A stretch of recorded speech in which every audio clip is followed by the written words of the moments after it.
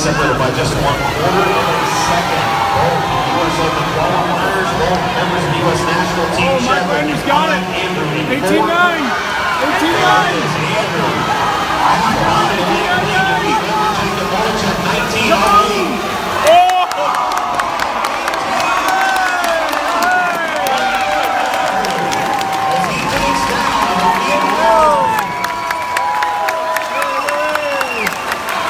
Called it.